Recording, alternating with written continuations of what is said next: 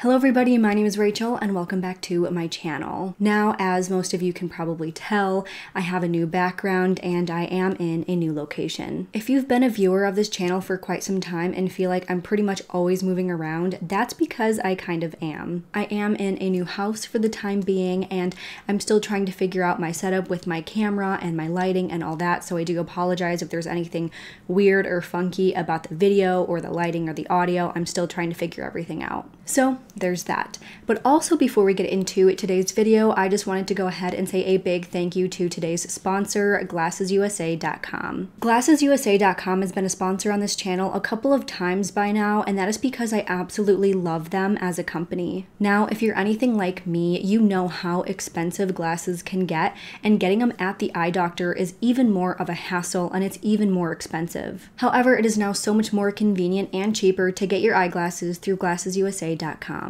By cutting out the middleman, GlassesUSA.com offers prescription eyeglasses for up to 70% off of retail prices. You can now shop for your prescription eyeglasses online without ever leaving your home, all at affordable prices. GlassesUSA.com offers over 4,000 different styles of glasses and sunglasses, including in home brands like Ottoto, which is these ones. These are prescription sunglasses, and Amelia E, which are also prescription sunglasses, just like these ones. They also have designer brands like Ray-Bans, Gucci, Oakley, and so many more. You can find any style and color that you can imagine, as well as specialty glasses like kids glasses, sports glasses, safety glasses, and so many more. They also have an online tool that allows you to try on the glasses that you get before buying them to make sure that you really love them, which I think is just so cool because you want to make sure that the glasses are going to look good on you and fit your face well before buying them. And shopping online can make that kind of scary, but Has you covered. Now, like you guys have heard me say so many times before, before I started shopping with GlassesUSA.com, I was afraid that my prescription might be too high to find a cute pair of frames that my lenses would fit into. I have the thickest glasses ever from my eye doctor, and I hated wearing them out. I hated wearing them in videos, and I hated showing anyone what they looked like because they were so thick. But with GlassesUSA.com, you can add any type of prescription to almost any pair of frames, including prescription sunglasses, which is what these are, and blue light blocking glasses, which is what I'm wearing right now. The best part of GlassesUSA.com, in my opinion, is their price point. A complete pair of glasses starts at only $30, and a free basic prescription lenses are included with every frame. It's so easy, all you do is enter your prescription, place your order for the glasses that you want, and that's it you're done. Standard shipping is free on all orders no matter how much you spend, and if for some reason you aren't happy with your order, you have 14 days to return it for a refund, exchange, or 100% store credit. Absolutely no questions asked. The exciting news is that by clicking the link in the description box below, my subscribers can sign up to get up to 65% off of their first order, which is so amazing considering these glasses are already so cheap. And if you like the glasses that I'm wearing or any of the ones that I showed in this video, those will be linked down below below as well. So again, make sure you go ahead and click the link in the description box for up to 65% off of your first pair of glasses 100% hassle free. Thank you again to Glasses USA for sponsoring today's video. Also, I will be taking off these glasses for the remainder of the video because I know a lot of people don't really like the glare that happens when I have my lighting and I'm wearing glasses, so just so you know. So with all of that being said, let's get into today's case. Now, the case that I have for you guys today is a truly bizarre one that I'm really looking forward to hearing your thoughts on. This case has gone unsolved for almost 27 years, and I really want to get more attention and more eyes on her case. I think this is one of those cases that will only be solved once the right person comes forward with what they know. So, by doing this video, I'm hoping to get her case more exposure so that maybe the right person will hear her story and possibly come forward with something that they know. With that being said, let's get into the video. Today, we are going to be discussing the unsolved disappearance of Cleashindra Hall. Cleashindra Denise Hall, who went by the nickname Clea, was born on March 30th, 1976 to her parents Willie and Laurel Hall. Clea was described as bright, intelligent, motivated, and a kind young woman. The family lived in Pine Bluff, Arkansas. She loved to read, play with children, and she loved hanging out with her brothers. Clea was an honor student and she played in the marching band and she sang in the choir at Watson Chapel High School and she had big plans and aspirations for herself. She was so close to graduating before she disappeared and she was going to be giving a speech at her high school's graduation ceremony. Clea had dreams of becoming a pediatrician and was well on her way to achieving her goals. She had a summer internship lined up in Boston at a pediatrician's office before she was going to head off to the Tennessee State University for their pre med program. She was just so excited for college and was so excited to finally be getting started on her path. She absolutely loved being around children and wanted to make it her life's work to help children. Now, the weekend of May 6, 1994 was a busy one. Clea had spent the entire week gearing up for her school's prom, all excited to get her prom dress picked out, get her nails done, get her hair and makeup done before her big day. She went to prom on May 6th, and by all accounts, she had a great time. Then on Saturday, May 7th, she attended a sorority ball, and then by Sunday, May 8th, she had celebrated Mother's Day. So naturally, by that Monday, May 9th, the family was sort of starting to adjust to their normal routine. Now, in addition to going to high school, Clea had an after school job. She worked at Dr. Larry Amos's home office in Pine Bluff, which is only a couple of minutes away from where she lived at home. Usually, when she worked there, both Dr. Amos's wife and their child were at home as well. Dr. Larry Amos organized and ran a nonprofit charity organization that helped support in home daycare centers by allocating grant money to to all of their different facilities. So it was Clea's job to basically just go through this, sign checks, and help out around the office. So on Monday, May 9th, Clea went to school as normal. However, at her high school, there was a rule that if you were a senior and you had a job, you were able to leave school early to go to work. Clea wanted to work a little bit extra so that she could save up for her upcoming internship in Boston. So at around 2:45 p.m., Laurel picked up Clea from school and they headed over to her job at Dr. Amos's home office. But when they got there, nobody was there. This was a little bit weird because earlier that day, Dr. Amos's wife said that she could be there a little bit early, but they were apparently running late because she was a bus driver and so she just hadn't finished her route yet and they weren't home yet. So this wasn't a huge deal. So Clea just went home and took a nap on the couch before she headed off to work. So at around 4:45 p.m., Dr. Amos called Laurel to tell her that he was ready for Clea to come for her shift. So Laurel woke up Clea and around 5 p.m. that day, Laurel dropped Clea off at work. Now, normally at 8 p.m. on work nights, Clea would call Laurel to tell her she was ready to be picked up. However, on May 9th at around 8 o'clock, Clea called her mother and said that she wasn't ready to come home yet and asked if anyone had called for her at the home, and she said no. But then she said that she was going to be staying at her job until 8:30 that night, so Laurel should be expecting a call from her around 8:30. However, that second call never came. Laurel had been sitting on the couch reading while waiting for her daughter's call when she actually fell asleep.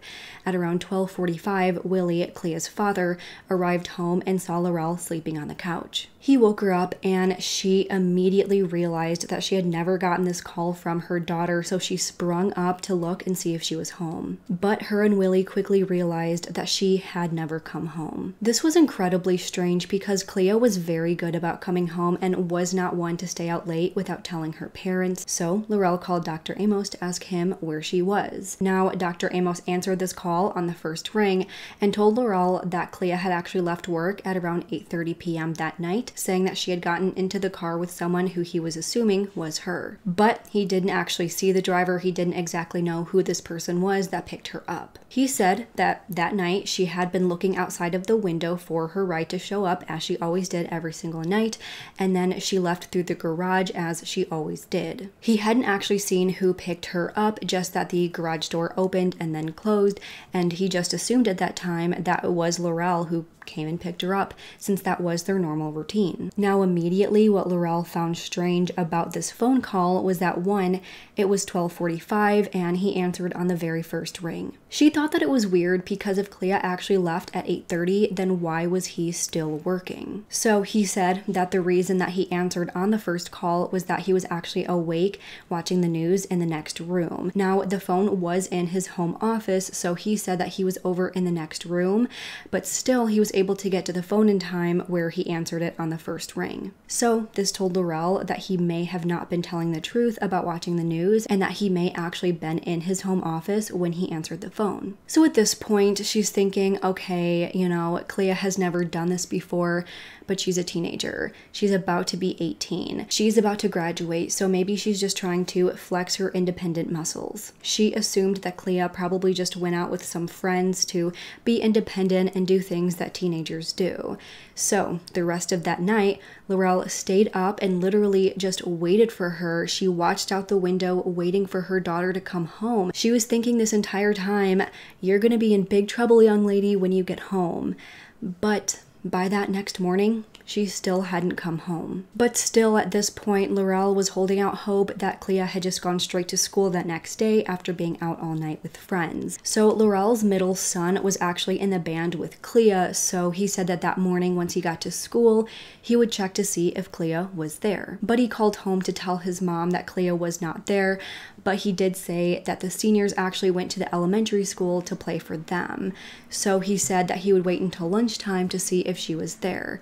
But once again, he called his mom and told her that she was not with the band. So immediately, Laurel called the police and reported her daughter missing. It definitely was not like her at all to be out all night and then to just skip school. I also want to mention that when she went to work that previous night, she didn't bring her purse with her. She didn't bring her ID or money or anything else with her. So there was no way that she could really just be out there out and about without any of her belongings. But of course, as it happened, happens in so many of these older cases, she was told that she had to wait 24 hours before making a police report. So Laurel waited until exactly 5 p.m. that same evening, went to the police station, and filled out a report. But still, when she did so, police did not take the disappearance seriously at all. Again, they just said that she was a senior in high school. She was probably just off hanging out with her friends and skipping school. It was pretty much the same thought that her own mother had when she initially went missing. But because the police weren't taking it very seriously at all, that same day, Laurel and Willie went home and made and distributed flyers to try and see if anyone out there had any information about Clea's whereabouts.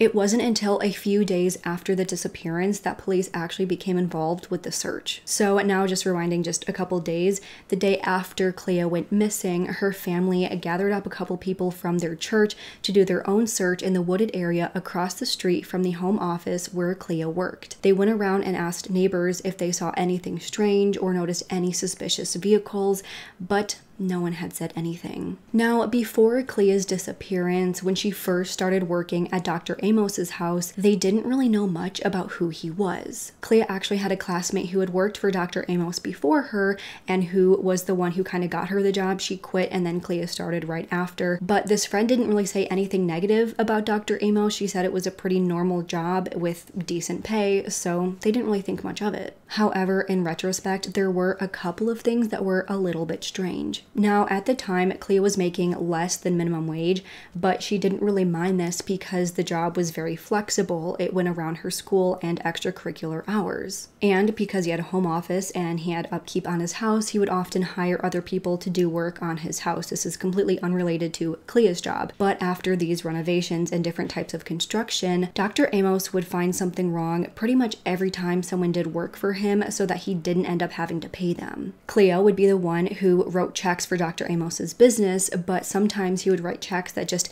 didn't really look right to Clea. They didn't seem like they were completely related to the job. So pretty much what I'm getting from all this is that he was just very, very cheap. He may have been involved in some shady dealings, but other than that, Clea had never told her mother anything else that made her suspicious of him. She worked there for a year, and Clea never said that he was mean or did anything super illegal or really sketchy or anything like that. He just seemed like a super, super cheap guy. But even though there weren't really any red flags to begin with, his behaviors after Clea's disappearance were a bit suspicious. So the day after Clea's disappearance, Dr. Amos had called Laurel to ask her if Clea ever came home and obviously she told him that she hadn't. Then, a few days after the disappearance, he went on a business trip that was out of state and stayed out of state for three days. Then, once he got back from this business trip, detectives did question him, and he was initially cooperative and told them that they could search his home. However, he got into an argument with one of the detectives and then it changed his mind and became very uncooperative and no longer allowed them to search his home. He filed a complaint against this officer, which made it very difficult to investigate him because if they tried to press him further, he was going to make a report against them, filing for harassment. The next thing that Laurel and Willie did was that they found Dr. Amos's ex-wife and met up with her to ask her if she knew anything about her ex-husband that would make her think that he was capable of harming Clea. So she agreed to meet up at this little restaurant to talk to the both of them. Now, immediately this meeting started off strange because there was a man across the street outside of the restaurant's window that was taking pictures of the three of them. Of course, Laurel was freaked out about this, but Larry's ex-wife told her that she actually hired this man to take pictures of them because she wanted to make sure that Laurel and Willie were really who they said they were. She was so paranoid because she thought that it was possible that her ex-husband was out to kill her. Now, she told them that Larry was actually abusive towards her. She said that if he came home from work and something wasn't exactly how he wanted it to be, he would absolutely freak out. She said that she suffered years of abuse from him. She said that one night she was boiling some water and he had come home and things started to get very physical between the two of them. So she took the boiling water and dumped it on him, scalding him and burning him. And that is when she ran out and finally escaped the relationship. At the time of this meeting between the three, she was actually in the middle of suing him for child support. So she was afraid that he would retaliate and she was afraid for her life. So she said yes, she does think that it's very possible that he harmed Clea. Laurel went and told police about this, but all they said was that she was just a bitter, battered ex wife, so they did not take this seriously. So they went and tried to speak with Larry Amos's wife, but they couldn't. Now, of course, police interviewed her at first, but they haven't really said much about the contents of this interview. It could be thought that maybe she was in the same situation as Larry Amos's ex wife, but we really don't know why she had hadn't said much. So, two weeks after Clea's disappearance, police decided to search Dr. Amos's home office since that was the last place that she was known to have been. But after doing the search, police came out and said that they did not find any evidence that Clea had been attacked or injured while working there. However, of course, Laurel argued that they definitely should not have waited two weeks before searching the home because that gave Dr. Amos plenty of time to get rid of any evidence that he may have had. She said, I don't understand why police just could not search the home immediately to make sure there was no sign of a struggle there. Maybe they would have found her press on nails or her hair extensions there. Who knows? But there's no way to really know because they waited such a long time to search. At that point, police came out and said that they believe that she had left the house with someone she was acquainted with.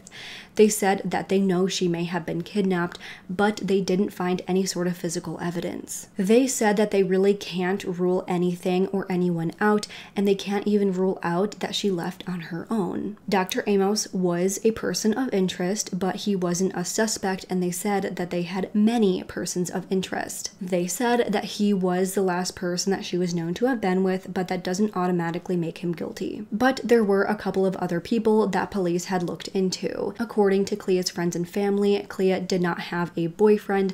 However, there was a boy who she particularly liked and was friendly with. So they went and questioned this boy and they made him take a polygraph test, but the results of this polygraph test came back as inconclusive. They also said that questioning him hadn't really led them anywhere either, and they searched his car, but again, that didn't get them anywhere either. And then, of course, police suspected the possibility of her running away on her own, but those around her knew that Clea was definitely not the type to go anywhere without telling anyone, and there was no reason that she would have wanted to escape her life, and she definitely was not a troubled teen. And police agreed that this definitely was not the most likely scenario. The other thought was that maybe she tried to walk home alone after her shift. Maybe she actually had called home at 8:30 sometime after Laurel had fallen fallen asleep and Laurel didn't hear the phone ring, so Clea just decided to walk home on her own and then was abducted then. However, Laurel said that even if she was asleep, she would always hear the phone ring if someone called, so she was very confident that if she actually called,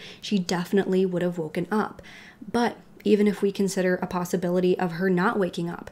Her two other sons were home at the time and they were up and they were awake, so they at least would have heard the phone ring, but they didn't. Now, Laurel said that there were some times that Clea would walk home, but she said when she did that, one of Clea's brothers would go over to the home and walk her home, so they would always be together, and Clea never walked home alone. Laurel definitely thinks that if Clea called home and the call wasn't answered, that she definitely would have stayed at Dr. Amos's house until someone answered or came and picked her up. She was a very protective mother, and she said that Clea never walked home on her own and she never allowed her to. And she was very well informed about all of the dangers of walking home alone, so she does not think that Clea would have ever walked home, even in this instance. But of course, there is always a possibility that she wanted to be more independent and wanted to walk home on her own. She was about to graduate, so maybe she just decided to walk home on her own.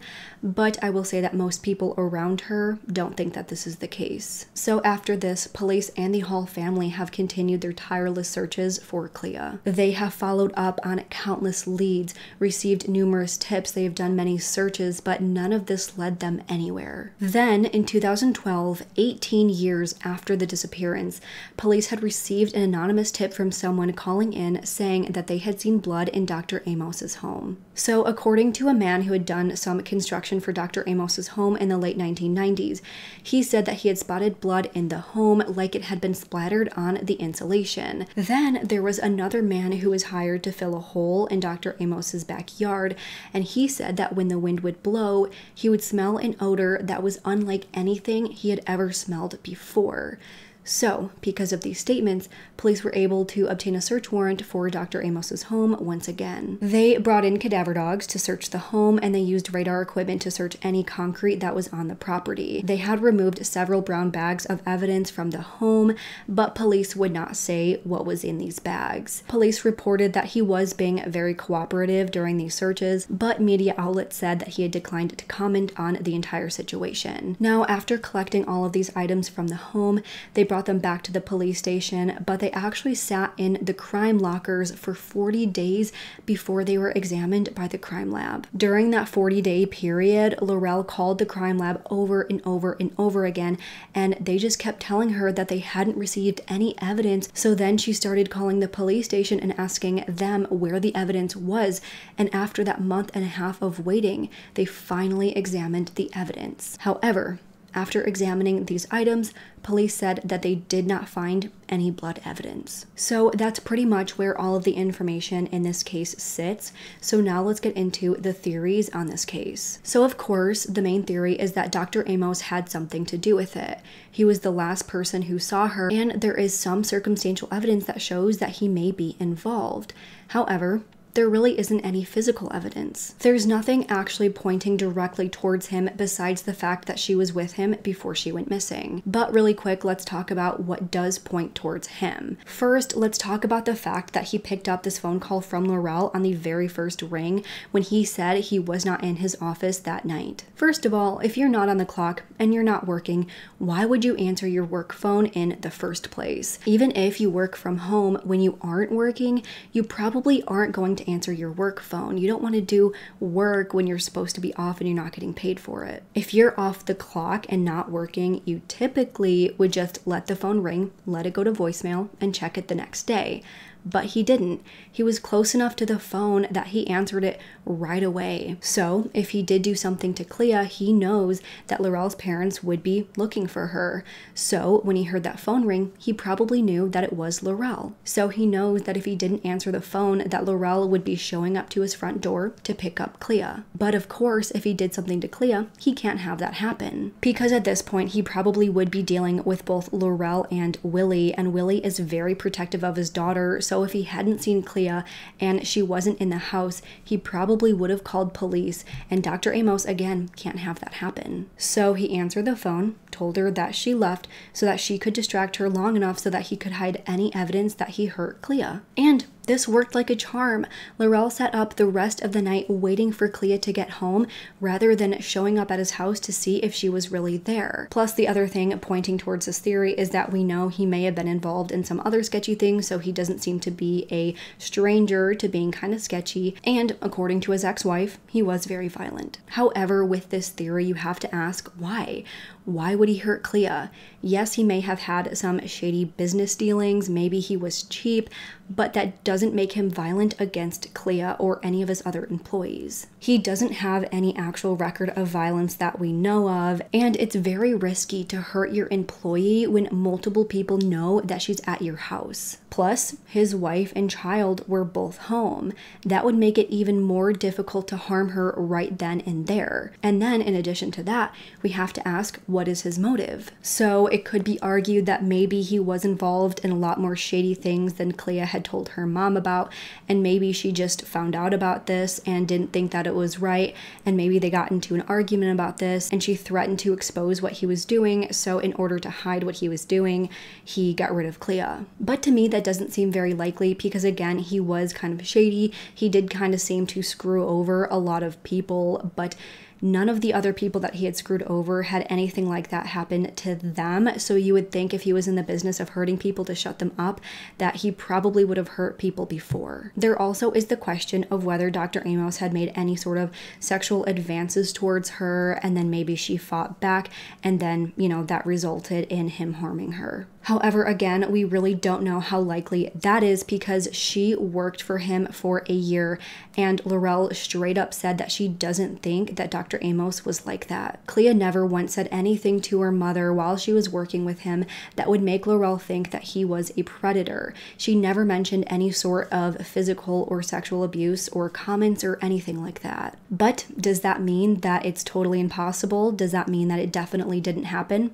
No, it's always possible that she didn't tell her mom because she was embarrassed or she knew that her mom would worry and maybe Clea didn't think it was that big of a deal. Maybe it was just a couple of comments here and there that she didn't really think to tell anyone about. And this was a temporary job that she was going to be leaving soon, so maybe she just kind of put up with the comments or any sort of sexual advances and figured, you know, I'm leaving this job in a couple of months. It's not a big deal. Let me just push through it and I'm done soon, so it's not a big deal. So, either way, I could see it happening, but we don't have any sort of evidence pointing towards him being sexual towards her at all or anything like that. So, the other main possibility is that Clea truly did leave without telling her mom and went off to hang out with friends, given that she is now 18 and about to graduate and was somehow harmed along the way. We know that Laurel's first reaction when this happened was that maybe Clea was just out on the town. So, that tells me that even though she was someone who didn't normally do that and was very responsible, Laurel herself thought that it could be possible.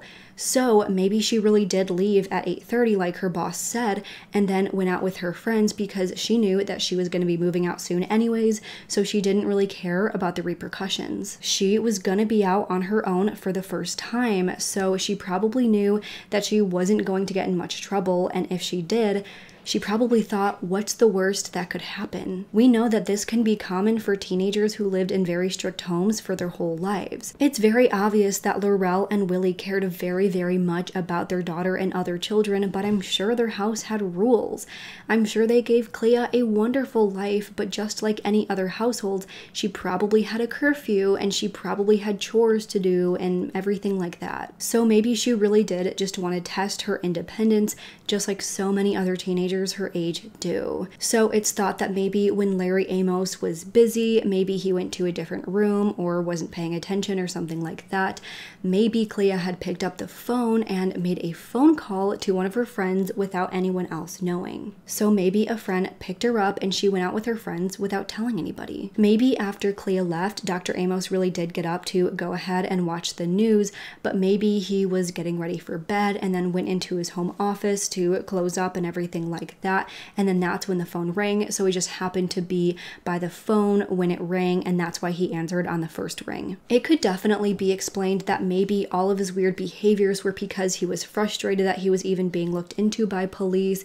He knew that he was the last person who saw her, but he was frustrated that police were looking into him because, you know, he didn't want them to mess up his home or his business or anything like that. We know that he's a very stingy man with his money, so maybe he was just really worried about all of that getting in the way of him making money. Who knows? I do think that some of these weird behaviors could definitely be explained. But something that does go against this theory is that if she really did call a friend to hang out, why has that friend never come forward?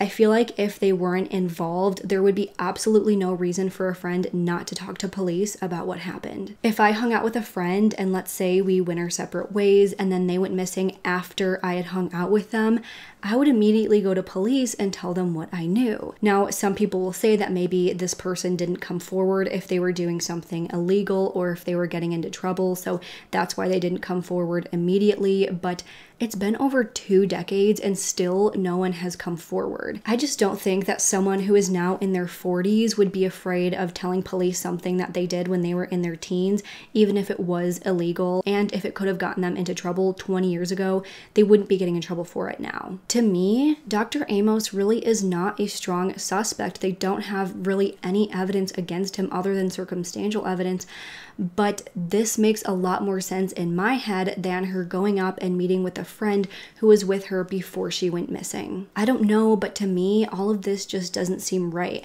Everything would have to line up so perfectly for this theory to even be true.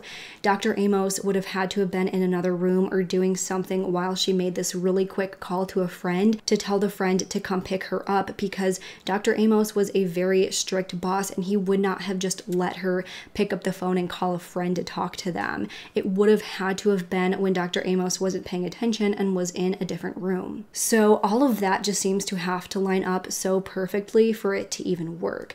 Plus, she has to risk that maybe Dr. Amos would see this friend picking her up and tell on her to her mother. There's so many other things that need to be considered before just assuming that maybe she was hanging out with friends and getting into trouble. Again, I really have no idea what I think would be Larry Amos's motive, but to me, I just can't shake his weird behaviors and all of these very suspicious circumstances. This is probably one of the most baffling disappearances I've ever looked into. I can't imagine how someone just goes missing without any single trace of anything being left behind. These are the types of cases that you truly don't want to believe are real, but they are, and they're absolutely so terrifying. It's been almost 27 years with absolutely no answers, and Clea's family are just as devastated as they were the day that she went missing. They are still looking for her to this day, and they refuse to accept anything without knowing exactly what happened and who is responsible. Cleashindra Denise Hall was 18 years old when she disappeared from Pine Bluff, Arkansas on May 9, 1994. She was described as being a black female with black hair and brown eyes She has a surgical scar on the outside of her left knee. She was last seen wearing a white shirt and shorts with imprinted navy blue polka dots on one side and stripes on the other side, as well as white socks, white tennis shoes, and a white ponytail holder in her hair. If you have any information concerning Clea's case, even if it seems completely unimportant, I urge you to please contact the Pine Bluff Police Department Detective Terry Hopson at 870 543 5111. Always, all of that information will be listed in the description box below. So that is all the information that I have for today's case, and now I want to know what you guys think. Do you think that Dr. Larry Amos is responsible, or do you think something else happened to her after she left work that night? Please let us know your thoughts in the comments below. If you liked this video, please make sure to go ahead and leave this video a thumbs up and subscribe to my channel. I put out new true crime and mystery videos every single week. And if you have absolutely any case suggestions, please make sure to go ahead and send them over to my email at rachelshannoncases at gmail.com. With that, I hope you guys have a great week. Stay safe, stay healthy, and I hope to see you next time. Bye!